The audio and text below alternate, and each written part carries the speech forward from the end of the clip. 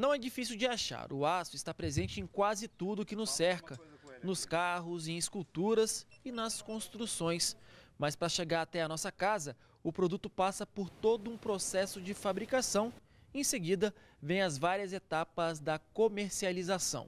O evento que acontece aqui em São Paulo é para discutir exatamente isso: a produção, comercialização e a competitividade do produto fabricado aqui no Brasil.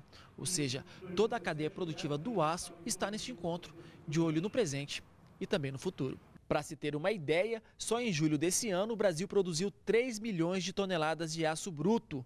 E mesmo com a sobretaxa americana, a partir de junho de 2018, as exportações de aço para os Estados Unidos, um dos principais compradores do produto brasileiro, quase triplicaram com relação ao ano passado, somando mais de 548 milhões de dólares. Durante o evento, o presidente Michel Temer relembrou a negociação com o governo norte-americano para baixar a sobretaxa aplicada ao aço brasileiro. Ainda agora, quando nos Estados Unidos se sobretaxou é? a questão do aço, nós tivemos muitas reuniões e nestas reuniões e contatos que o Itamaraty providenciou junto aos Estados Unidos, nós conseguimos reduzir aquele gesto inicial do senhor presidente dos Estados Unidos, que onerava enormemente a nossa indústria. E hoje, de qualquer maneira, nós estamos num passo, num passo razoável em relação a essas exportações. O Congresso Aço Brasil 2018 reúne nomes importantes da indústria siderúrgica.